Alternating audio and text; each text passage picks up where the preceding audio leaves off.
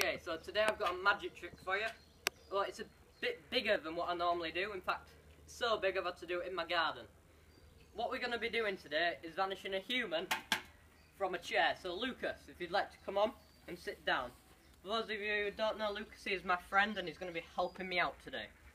But before we do anything, Lucas, we're just going to have to do something else because I've told some of my friends at school what we're going to be doing and they said, oh, you're just going to edit it. So to prove we're not going to edit it, we've got an iPod. I'm going to play some music. So if there was any editing, there'd be a change in the music. Okay? So here we go. You just curl up in a ball on the chair. Like that. Okay. And then I'm just going to put this rug over you, like that. So if you just keep your feet in from the Lucas, keep your feet in. Like that, yeah, that's good. Just keep your head back. There you are. Perfect.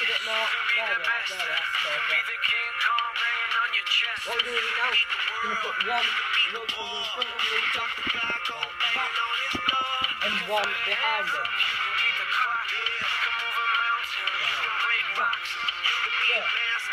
I'm do I'm to give you a 360 degree view of the. If you start around, it's a hold and come around. You see Lucas is nothing silly, no special effects or anything. You carry on coming round, is under the chair at all times, nothing silly. See, nothing behind the chair. Yeah, you start to round the chair. You can walk straight through hell with a smile. You could be the hero.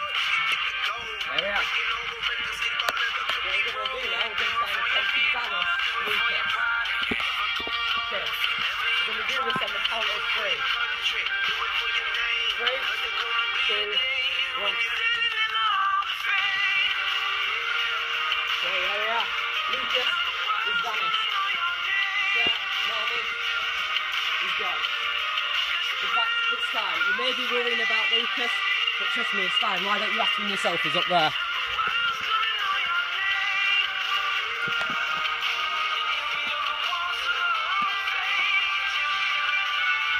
Thanks for watching. Hope you enjoyed it.